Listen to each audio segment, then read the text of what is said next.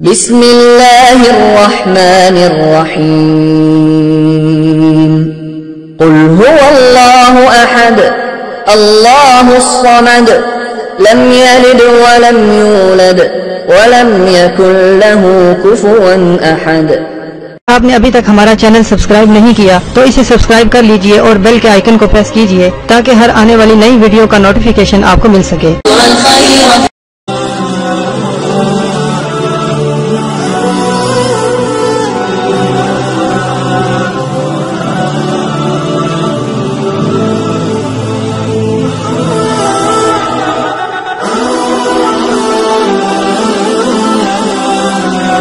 پیارے بہنوں بھائی امید کرتی ہوں کہ آپ سب خیریت سے ہوں گے۔ دعا کرتی ہوں کہ اللہ پاک آپ کی تمام پریشانی، دکھ تکلیفوں کو ختم کر دے۔ اللہ پاک آپ کے تمام سگیرہ کبیرہ گناہوں کو معاف کر دے۔ آج جو میں آپ کو وظیفہ بتانے جا رہی ہوں۔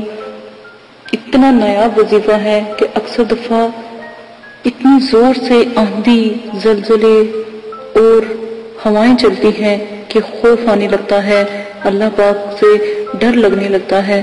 نقصانات بھی ہوتے ہیں جب زلزلے آتے ہیں، تو ان سب سے بچنے کے لیے تو آپ کو ایک وظیفہ بتاؤں گی، بہت ہی نیا، بہت ہی عمدہ اور اعلیٰ وظیفہ ہے۔ آپ جب کبھی بھی آندھی چلے یا زلزلہ آئے یا کوئی ایسی آفت یا پریشانی آئے جس سے نقصان ہو ہونے کا ڈر ہو، خواہ وہ کیسی ہی حالت میں ہو، تو اس وقت خلوص دل اور صدقے نیت سے سورہ فلک اور سورہ ناس اگر پڑھی جائے۔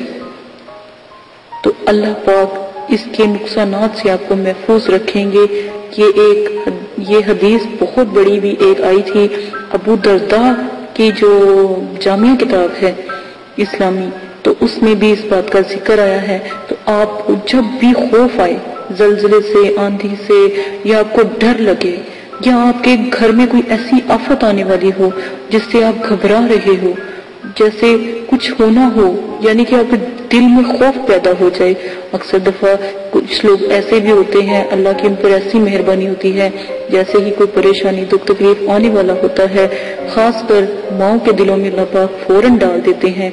وسوسے، خوف ان کے دلوں میں آنے لگتا ہے۔ تو اس وقت بھی آپ سورہ فلک اور سورہ ناس کا ذکر کریں۔ سورہ فلک پڑھیں، سورہ ناس، چاہے ایک مرتبہ اگر آپ پڑھ لیں تو ایک مرتبہ کی ہی بڑی فضیلت ہے۔ ایک مرتبہ کے لیے ہی بڑی مطلب کہ کافی ہے ایک مرتبہ پڑھنا۔ تو آپ لازمن کیا کریں، بہت نیا وظیفہ ہے، آندھیوں کو، طوفانوں کو روکنے والی صورت کا نیا وظیفہ آپ کو بتایا ہے۔ اسی کے ساتھ اجازت دیں، اپنا بہت زیادہ خیال رکھیے گا، دعاؤں میں یاد رکھیے گا۔ اللہ پاک آپ کو کرنے کی اس وظیفے